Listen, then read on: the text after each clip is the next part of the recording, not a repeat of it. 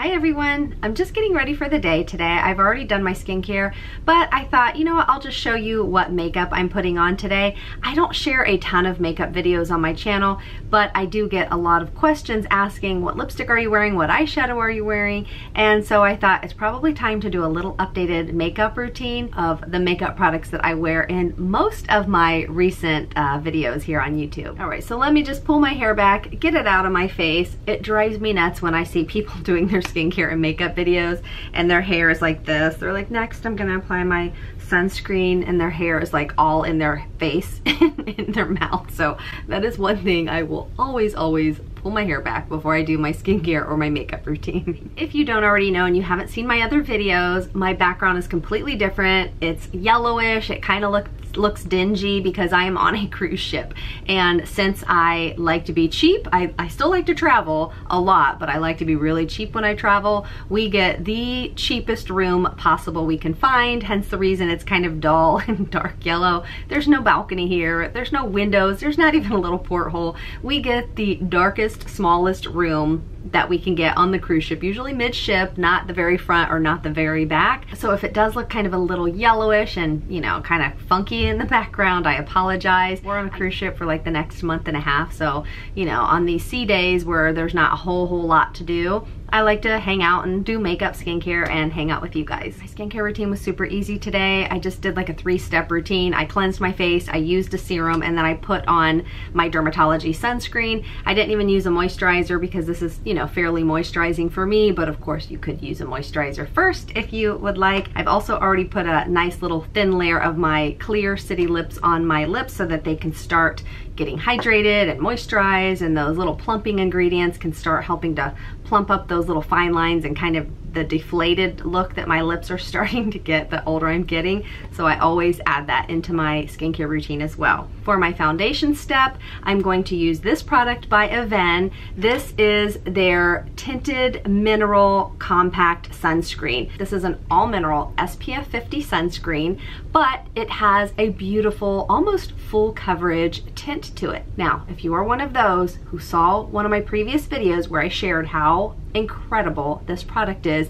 And you got a little bit out of shape saying no this is a foundation it's not a sunscreen. I use it for my foundation step but on the label it does not say this is a foundation. This is a sunscreen but it's a high coverage sunscreen because it has the iron oxides in it. So in one of my previous videos I mentioned I didn't put on foundation today. And I said well the typical foundation that one would think. I just used a tinted sunscreen. A couple people I have no idea why, but a couple people got their feathers ruffled and thought I was being deceptive and dishonest because they swear this is a foundation. Call it whatever you want. You want to call it a foundation, you want to call it a sunscreen, if you want to call it a bird, call it whatever you want, but this is the tinted sunscreen I'm going to use on my skin today that will pretty much replace my standard foundation. it's funny to me when I, you know, have to be so specific about that because, you know, I don't know, some people just, they get really frustrated about the silliest things, but you know, whatever. It is what it is. So this is a nicely pigmented sunscreen product that, now, like I said, I did use my Dermatology sunscreen first because I like to really make sure I get my sunscreen everywhere and not miss a spot. But honestly, you could probably get away with just using this. I'm sorry, let me just show you what it looks like, what I'm using. It's um, it's a cream to powder product. So it feels like a, a cream when you rub it and then when you put it on your skin, and this color matches my skin perfectly, but when you rub it on uh, your skin, once it dries down, it's kind of like a, a powder-like uh, finish, kind of a natural. They say on here it's more of a matte finish, but for my skin, I don't find it to be like that flat matte look. I still have a nice glow when I use this, but the coverage on this, actually let me uh, zoom in so you can see. So the coverage on this is quite impressive. Let me show you on this side of my face because my melasma is darkening up a little bit here. I think you can see it really well because my melasma is so dark today and I have a little pimple there. But look how dark my melasma has gotten this week. It's not because I'm not protecting my skin from the sun, it's the heat. When we go to the tropics, my melasma, it just gets so dark on my skin and then my melasma will get really dark around here. Look at the difference in this side of my face to this side of my face. I mean, it is what it is. That's unfortunately what melasma will do. And then what I typically like to do, so I'll use one side of the sponge to apply this product and then what I like to do is I will turn the sponge over on the clean side it doesn't look clean because it's just stained from this tinted sunscreen but it is this side is clean I already washed it but I'll take the side that I didn't use to apply the product and then I'll just kind of you know use it like a blending sponge and press it all over my face just to make sure it got down into the little nooks and crannies. There's no creasing, it's not settling into any of my fine lines and wrinkles. So I just kind of press it in. So like I said, you could get away with using this as your only sunscreen, but since I do like to kind of press some of it off, I wanna make sure I'm fully protected, especially since I have all of this melasma that will get really dark. So I do like to use a separate sunscreen first. And also this is what I put in my purse or pocket or whatever. So when I'm out and about midday, you know, we have to keep touching up our sunscreen every couple hours, it's kind of difficult to bring my big bottle of my dermatology sunscreen with me. So I just put this in my purse and this is what I use to touch it up over top of my makeup throughout the day. So it's almost like you're refreshing your foundation and everything just blends really pretty and you're getting that SPF 50 protection over top of your makeup. So if you have a hard time reapplying your sunscreen, try something like this and I think you're really gonna enjoy it. For my under eyes, I'm just gonna do a teeny bit of color correction just because I have, you know, this hollowed out area here. I don't wanna get fillers, so you know, I just leave it the way it is and I just try to add a little color correction. I'm using this peachy shade. What this is though, this is also another sunscreen. This is by Jane Iredale. This is her Enlighten Plus. It's an under eye concealer and it's an SPF 30 all mineral sunscreen, but it has this really pretty, it's, it's almost identical to the Colorescience one as far as what it does. Um, but it has this nice little cooling tip. I don't really use that too much, but it comes out in just this kind of light, very light peachy shade and I take the teeniest amount. Now I had shared this when I bought this, I guess around Black Friday, and I was wanting to compare it to my, where's my Colorescience? I have it here. Oh, you know, I threw it in my purse. But I was wanting to compare it to my Colorescience, the 3-in-1 Total Eye that I love. I do love this one, but if I had to choose between both of them, I would choose my Colorescience 3-in-1 Total Eye, only because the Colorescience is more hydrating, more like watery-ish feeling. This is a thicker, uh, more like a what you would use if you're trying to color correct. So I and also I feel like I can use more of the Colorescience and blend it in and it just really adds that hydration and moisture to my eyes. This doesn't add any hydration. This is just more like to me it's just more like a straight up concealer but it's it's really nice. So I love them both, but for two different reasons. But what's great is this one is a concealer, an all mineral concealer as well. So, you know, especially if you have sensitive eyes and you have issues using concealers, this might be something that you would uh, really like. Plus you're getting that added sunscreen bonus. So I just put a little bit of it on, not even much to really make a difference. But I, I don't want my face to look cakey. I'm just trying to do like kind of thin layers of product. So the next thing I'm gonna do, I'm gonna put on a little bit of my Kosas concealer. Now this one has more of, I'd say like a yellowy undertone, but this is brightening and this is super hydrating and moisturizing for my under eyes. So since I use that kind of peachy color corrector, I really enjoy using the Kosas over top of it. And it, this is a beautiful concealer. It doesn't crease very much, it doesn't crack, it just kind of stays skin-like. Every now and then I do have to like take my finger and lightly press over it to make sure it's not settling into any of my, you know, under eye wrinkles. But this is actually a really nice concealer, but I never really enjoyed it on its own until I started using an, a peachy color corrector first. Now you don't have to go, you don't have to use any of these products by the way, I'm just sharing what I like to use so don't feel like you have to rush out and buy these products. But using a peach color corrector first before I use this Kosas product, it's made me really enjoy using this again. I'm gonna go ahead now and do my eye primer so that can just kind of set and do its thing. And then I'm also gonna go ahead and do my lips. Usually I wait till the very end to do my lips, but I'll share with you why I wanna do them now. And if I forget to mention, you know, and hold the product really close to the camera, if I forget to mention all of that, I always link every single product I'm sharing in a video. Just look below the video, click on show more or that little drop down arrow to the right side, right underneath the video. That's gonna open a whole description box that I take the time to write out every single product that I'm sharing in the video. I have shopping links. If I have any discount codes, I will share that below as well. So if you're ever wondering and you're thinking, oh my gosh, she didn't zoom in close enough on this exact product, just look in the description box below and I will have everything organized and listed down below to make it really easy on you. Now I'm gonna do my lips because I'm using a lip tint that I kind of want to set in before I finish the rest of my makeup. This is one I've been using it like a month now. It's by Etude. It's their Fixing Tint. I got the shade Dusty Beige. Now it's beautiful on its own, but what I like to do is just let it sit for a couple minutes and then I'll blot it completely off and my lips will stay stained. That really pretty kind of Your Lips But Better shade, they'll just be stained that shade I mean, for six, eight hours. It is so, so pretty. This way I don't have to hassle with touching up my lipstick. I can just slap a lip gloss over top of it and this stuff won't budge. I love, love, love this. So I'm just gonna do a quick little bit of lip liner first. This is my Estee Lauder Double Wear. This is in the shade Brick. It doesn't really match what I'm gonna use, but since I blend it all, it, will it'll match just fine. And then I will put the uh, lip tint over top. And then I'm just gonna put a little bit of my City Lips Clear uh, Lip Plumper over top. For my bronzer, I'm gonna use my uh, City Bronzer from Maybelline. I'm just gonna use this kind of like fluffy brush. I think this is one of the Angie Hot and Flashy brushes from BK Beauty. And then I just kind of bronze up my face a little bit. For my blush, I'm gonna use this one. It's one of my favorites from the brand Gabriel Cosmetics. This is supposed to be like a clean formula. I've used this for many, many years. This is a new one I just purchased. And this is one of the BK Beauty brushes. This is one of my absolute favorite. Uh, her newest collection of the BK Beauty brushes, the face brushes, I love, love, love them. So, you know, I'm on a cruise, so I only brought, since I can't bring a ton of stuff, I only brought some of my absolute favorites. But these two from her newest collection, these are, to me, the best face makeup brushes I have ever, ever used in my entire life. Actually, wait, one more this one also. This is from her travel collection though. The This is the 101. I'll just link these down below. I think she gave me a discount code to use.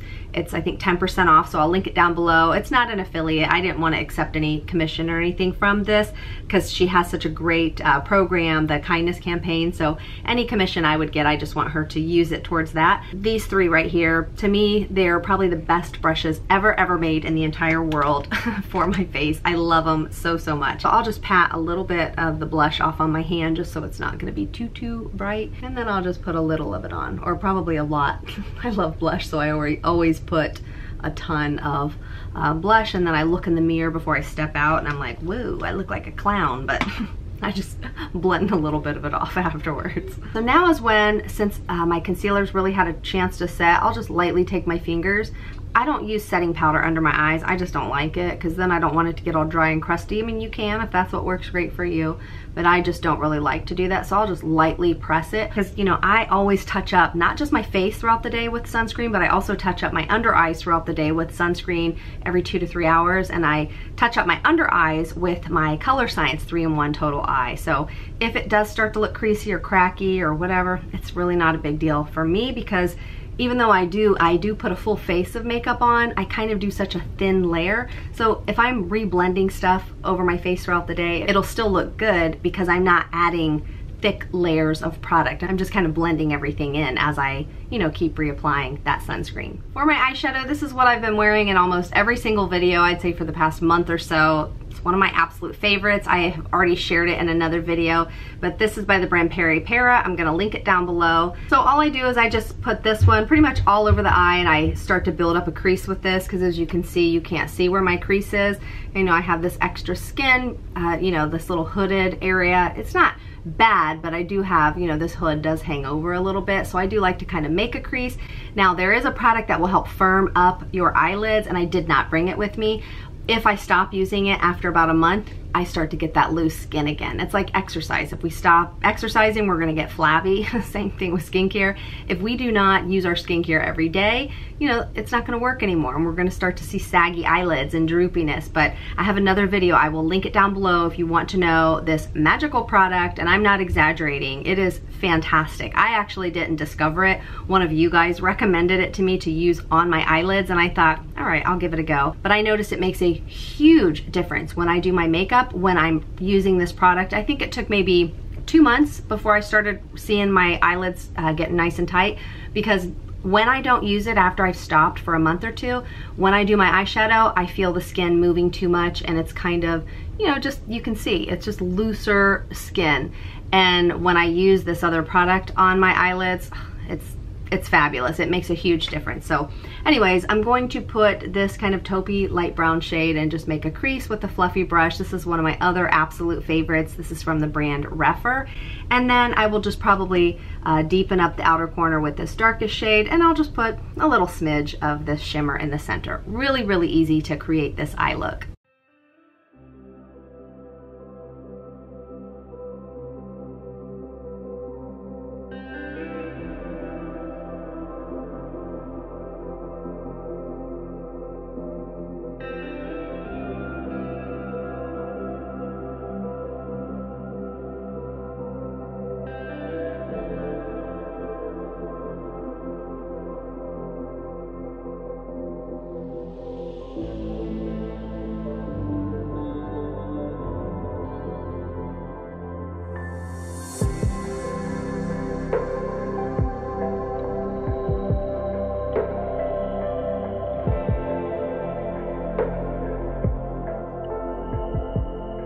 I finish my eyes, I want to do my eyebrows. Usually I like to do my eyebrows first, but if I forget, no biggie. I'm just kind of cleaning off any of, you know, any moisturizer, makeup, anything like that that I got in my eyebrows so my product will stick.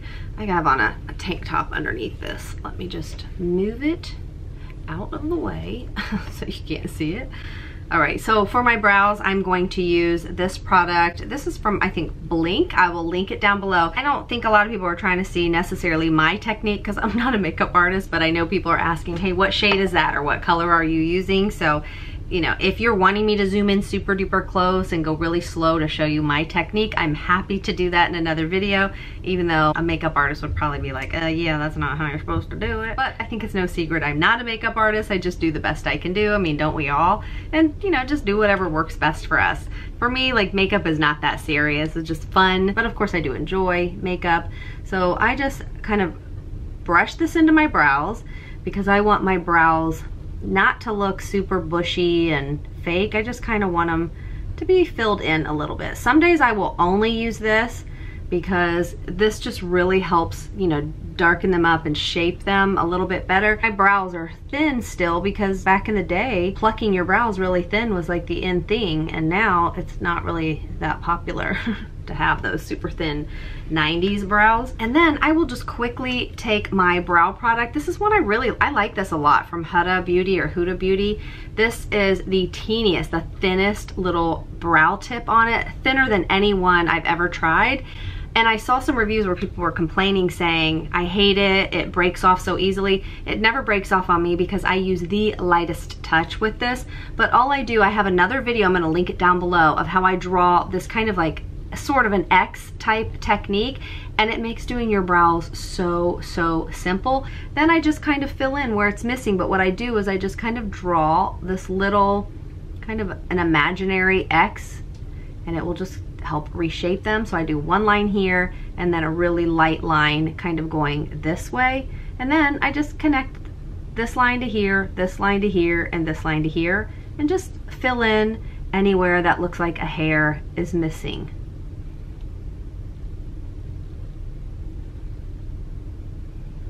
And then I take the other side and lightly brush through it. Even if you have the thinnest brows or no brows, doing this technique that I share in this other video, and I'll do an updated video on it since I know it's like an older video, a year or two years old, but it is the easiest technique. It's not my technique. I learned it from watching, you know, a younger gal on YouTube, but I will link that other video if you want the easiest brow tutorial ever. And then if I find it to be like a little messy, that's never a problem. I just take a little concealer. I'm just wiping a little of this Kosas concealer and I take this little teeny makeup brush. I have no idea where I got this. I think I got this at YesStyle. If I if I can find it, I'll link it down below. But it's just a super thin, I think it's meant for the lips, but I use it I use it on my eyes. And if I feel like it just needs a little bit better shaping or maybe I used the spoolie a little too much and it got, you know, just looks sloppy, I will just wipe off a lot of the product and then I just kind of clean up those edges right around it. Plus it'll kind of highlight it and make your brows, you know, look even more lifted. That's why I like to do my brows before I do my eyeshadow so that if I mess up a little bit here, it won't mess up my eyeshadow. And then I just kind of blend it with my finger. I don't always use an eyeliner, but I got this Ilia eyeliner in I think a kit that a Dermstore. They sent me like a few different things to try out and typically I don't use liquid eyeliner anymore but I really like this. I don't make a thick line since I do have kind of hooded eyes and my eyelid space is very very thin. I just apply it just kind of just to darken up uh, the edge of my eyelashes but without even you know covering up any of my eyelid space.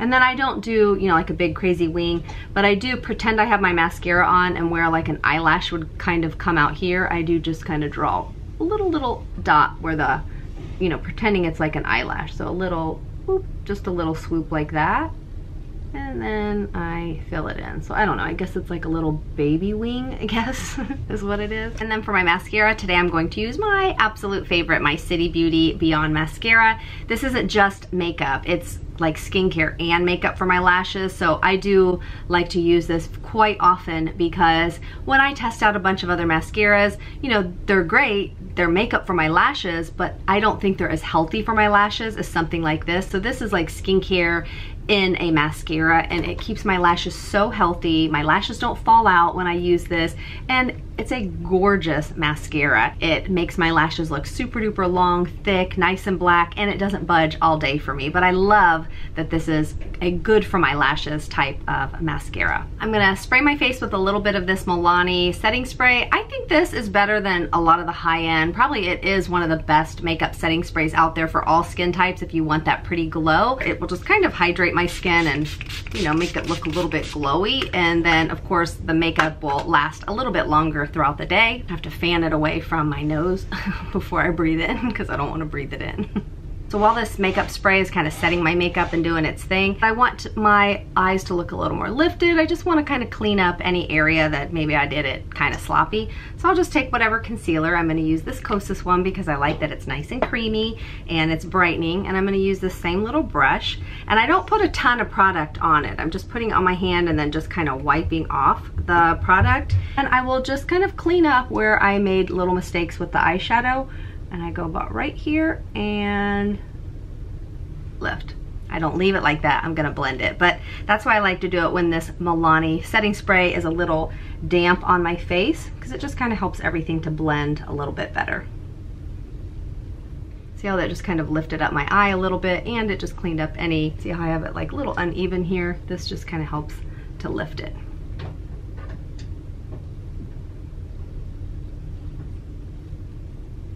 I'm going to zoom in so that you can see the finished look. And, you know, I might have to blend it a little bit better. I'll get out my little zoom in mirror and look. But this is pretty much what I do every single day. If you want to see another video where I share some of my makeup favorites, I will make sure I pop that video up here so you can just click on it now if you'd like to check it out. Thanks so much for watching and I will see you in the next video.